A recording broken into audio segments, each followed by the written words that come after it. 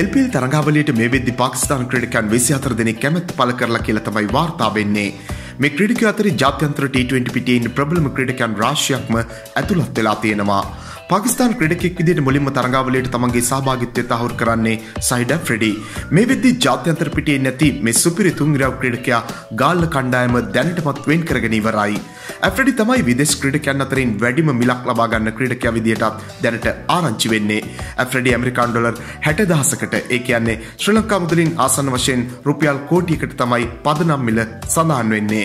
පාකිස්තානයේ නියෝජනය කළ තවත් දක්ෂ තුන්ගරව් ක්‍රඩකෙක් වන ෂොයිබ් මලික් ඇමරිකන් ඩොලර් 50000ක පදනම් මිලකට මිලකට ඒ කියන්නේ රුපියල් ලක්ෂ අනු දෙකක මිලකට තමයි කාණ්ඩගත වෙලා තියෙන්නේ. ඒවගේම තවත් දක්ෂ පාකිස්තාන සුපර් ක්‍රීඩකයන් තුන් දෙනෙක් ඇමරිකාන් ඩොලර් 30000ක් තමන්ගේ පදනම් මිල විදියට ඉදිරිපත් කරලා තියෙනවා. ඒ තමයි මොහමඩ් අමීර්, වහබ් රියාස් එක්ක මොහමඩ් හෆීස්. මෙයාලට අමතරව ඔක්තෝබර් පවත්වන වෙන්දේ සිට තවත් පාකිස්තාන ක්‍රීඩකයන් 19ක් ඉදිරිපත් වෙලා තියෙනවා. ඒ අතර හිටපු නායක සෆ්රාස් අහමඩ් වගේම ජාතික කණ්ඩායම දැන්ටත් නියෝජනය කරන ක්‍රීඩකයන් රැසක් ඉන්නවා.